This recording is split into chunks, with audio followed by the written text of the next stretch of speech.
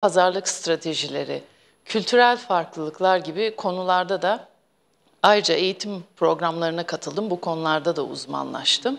Ee, oldukça faydalı bir eğitim süreciydi. Üniversitenin üstüne aslında üniversitede aldığım eğitim masanın bir tarafında oturanlara yönelikti. Yüksek lisansta aldığım eğitimde masanın diğer tarafında oturanlarla ilgiliydi. Dolayısıyla ben ikisini bir bütünleşen bir eğitim süreci olarak değerlendiriyorum. Tabii stres yönetimi, pazarlık stratejileri, zaman yönetimi hayatın her alanında da aslında fayda gösteren eğitim Öyle, olması gerek. öyle, Onların öyle, faydasını her alanda görürüz, görmüşsünüzdür de. Peki e, Cumhuriyet Halk Partisi sürecini de konuşalım. 13 yıldır Cumhuriyet Halk Partisi'nin aktif üyesisiniz. Doğru. Nasıl başladı süreç, nasıl devam etti? Şimdi e, Cumhuriyet Halk Partisi zaten e, bana e, atamdan, dedemden emanet bir e, parti. İdeolojisi atamın, dedemin takip ettiği bir parti. E, ben 13 yıldır Cumhuriyet Halk Partisi'nin üyesiyim. E, bu süreçte büyük küçük demeden bana verilen, e, tanımlanan her görevi yerine getirdim. E, bütün seçim çalışmalarında yer aldım. E, 2015 genel seçimlerinde ikinci bölgeden milletvekili adayıydım. Ee, daha sonra 31 Mart 2019'da e, Beşiktaş Belediye Başkan aday adayıydım. Ee, sonrasında e, Beşiktaş ve Büyükşehir'den e, meclis üyesi olarak 5 yıldır da görevime devam ediyorum. E, Büyükşehir'de e, Avrupa Birliği ve Dış İlişkiler Komisyonu'nda görev yaptım uzun süre. Bir dönem e, grup yönetiminde e, görev yaptım. E, bu şekilde çalışmalarım. E, meclis üyeleri olmak, e, meclis üyesi olmak hem Beşiktaş hem İstanbul Büyükşehir Belediyesi'nden bahsediyoruz. Yerel yönetimler anlamında e, katkı sağlıyor değil mi? Tabii tabii. E, şimdi e, biz 5 yıl boyunca İstanbul'un e, 39 ilçesine eşit hizmet ilkesiyle e, Silivri'den Şile'ye, Çatalca'dan Tuzla'ya, Pendik'ten Sarıyer'e bütün ilçelerin e, sorunlarıyla e, ilgili çalıştık. E, vatandaşları dinledik. E, bunların çözümleriyle ilgili çalışmalar yaptık. E, dolayısıyla hani e, yerel yönetimler açısından Büyükşehir Meclis üyeliği benim için e, tecrübe 5 yılı olarak adlandırdığım bir dönem oldu. E, çok çok çok e, faydalı ve öğretici bir dönemdi. E, bunu iyi değerlendirmek için e, sonuna kadar e, her konuda, her alanda bilgi sahibi olmaya ve çalışmaya özen gösterdim.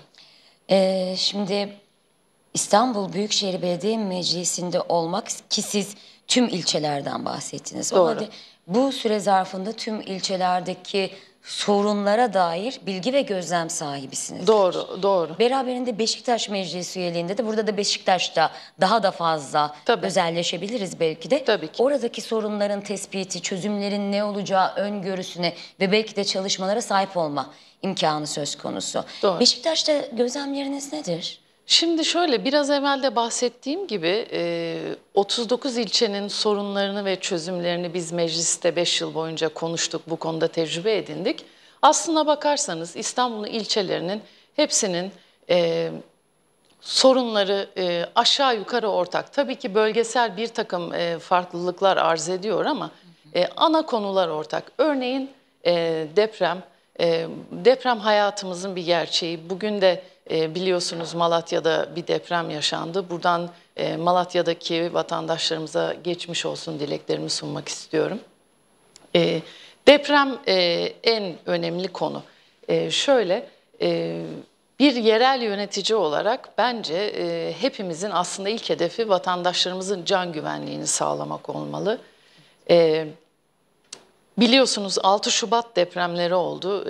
Çok büyük bir yıkım yaşadık o dönemde. E, ben e, depremin dördüncü gününden itibaren Hatay'da 10 gün e, kaldım İstanbul Büyükşehir Belediyesi'ni temsilen.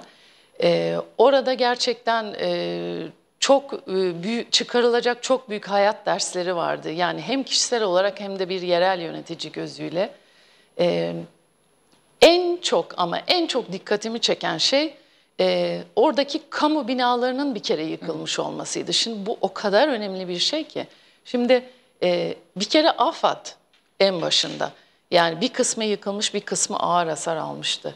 Hastaneler, okullar, valilik binaları, aile sağlık merkezleri hepsi yerle bir oldu. Şimdi e, kamu binalarının e, güvenli olması ve e, yaşanacak herhangi bir depremden sonra e, kentteki sistemin işliyor olması çok çok hayati bir konu. E, Beşiktaş'a döndüğümüzde Beşiktaş'ta da eski bir yapı stoğu var. E, İstanbul Büyükşehir Belediyesi'nin yaptığı bir deprem risk çalışması var. E, orada e, görülüyor ki e, Beşiktaş'ta 1300 tane bina çok ağır, ağır ve orta ağır derecede hasar alacak durumda. E, ve e, benim e, hedefim e, Beşiktaş'ta bir kentsel dönüşüm seferberliği başlatmak.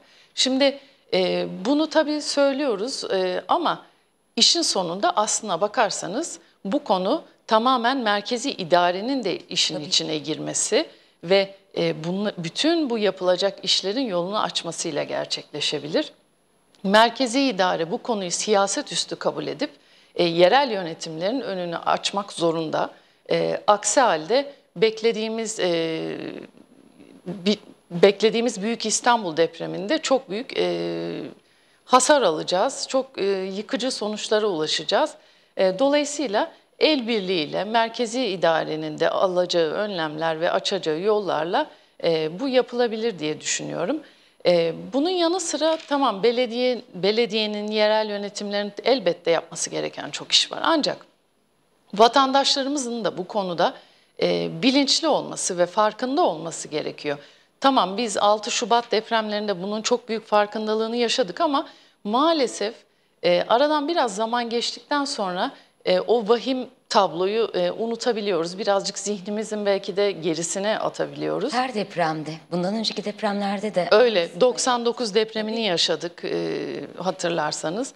Orada da aynı şey oldu. Şimdi e, bence yerel yöneticilerin vatandaşı e, ara ara bu konuda e, bilinçlendirmesi gerekiyor. Bir kere vatandaşların aile afet ve acil durum planlarını kesinlikle oluşturmuş olmaları gerekiyor ve yerel yönetimlerin e, bunu teşvik edici olması gerekiyor. Yani kısacası hafızalarını sürekli yenilemek gerekiyor bu deprem konusunda. E, bunun e, bunun yanı sıra deprem yaşandıktan sonra vatandaşların acil ihtiyaçlarını karşılayacak düzeneklerin ve mekanizmaların yerel yönetimler tarafından hazırlanmış olması gerekiyor. Arama kurtarma ekiplerinin tam donanımlı bir şekilde daima göreve hazır olması gerekiyor. Yani bu e, çok önemli ve öncelikli aslında ilk sırada yer alan konu. Bu İstanbul'un bütün ilçeleri içinde geçerli bir konu. E, elbette önemli bir konu ama e, tek konumuz değil tabii belediyecilik deyince. E, belediyeler e, çok fonksiyonlu yapılar, e, geniş insan kaynağına e, sahip e, yapılar.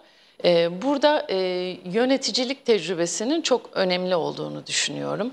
E, ikinci sırada benim e, önem verdiğim konu e, sosyal belediyecilik hizmetleri. Şimdi sosyal belediyecilik hizmetleri deyince ilk akla gelen elbette sosyal yardımlar oluyor. E, artık bu algı yıllar içerisinde bu şekilde yerleşmiş durumda. Ancak ben